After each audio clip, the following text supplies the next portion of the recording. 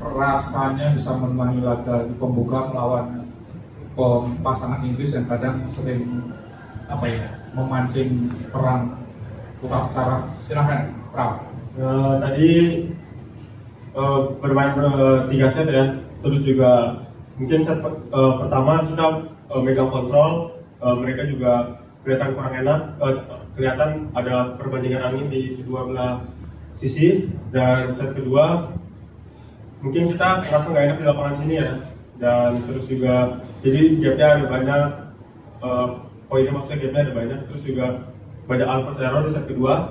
Terus juga di set ketiga berusaha untuk ambil poin banyak di start awal dari game 0 sampai 11 dan itu cukup berhasil. Dan terus kelihatan di se- eh, poin 11 di match ketiga kelihatan pasangan Inggris kurang mungkin eh, percaya diri kurang percaya diri terus banyak alpha error itu jadi keuntungan buat kita sih. Ada tambahan dari Ian nggak ada hidup ya? Oke teman-teman media silahkan kalau ada yang bertanya langsung. Oke silakan. Ya. Selamat untuk Yare dan Pram bisa menang di babak pertama Indonesia Open 2023. Eh, untuk Yare, Indonesia Open tahun lalu kamu cedera cukup parah dan di Indonesia Masters juga kalau nggak salah ada cedera juga. Itu bagaimana kamu untuk bisa bangkit lagi gitu? Bagaimana untuk meningkatkan semangat kamu untuk bisa balik lagi ke performa yang top? Eh, untuk balikin semangat lagi percaya diri mungkin dari orang-orang sekitar ya dari keluarga teman-teman pelatih ngasih support buat saya sih ngasih semangat terus seperti itu tidak ada perasaan takut atau trauma? Kalau trauma sih eh kalau takut sih di sini udah nggak ada ya kalau takut. Kalau trauma mungkin ya sedikit lah. Ya mungkin pasti kan ada pikiran kayak oh eh, akhirnya takut takut sih masih sedikit lah mungkin. Tapi itu udah nggak mempengaruhi performanya udah enggak sih kalau main ya udah normal Alhamdulillah. Oke, ada lagi? Oke, silakan. Uh, babak kedua ketemu Senegal dan kesekian kalinya kalian uh, ketemu lagi sama pasangan Indonesia gitu. Kalian sendiri melihatnya seperti apa? Gitu? Karena yang ketemunya seniornya lagi atau temannya lagi.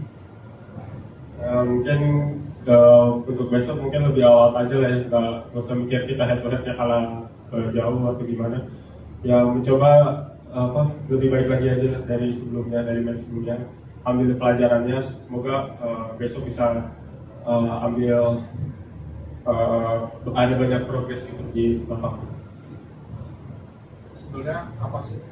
Apa ya, kelebihan seorang Dennis itu di mata kalian?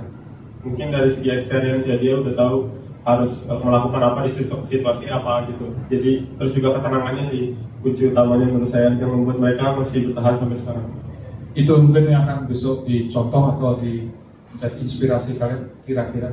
Ya mungkin gitu eh, atau bisa jadi kita menggunakan strategi kita sendiri Oke, ya siap. Ada lagi? Ya, silakan.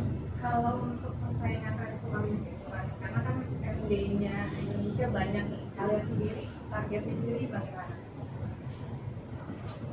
kalau target ya pasti semuanya ingin main Olimpik ya mungkin da- ada mungkin dari kitanya aja sih persiapan fokusnya nanti seperti apa gitu.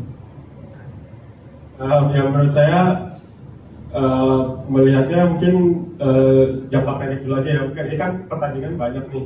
Maksudnya kalau misalkan kita pertandingan di sini bagus, berarti kan tes olimpiknya di otomatis jadi bagus ya.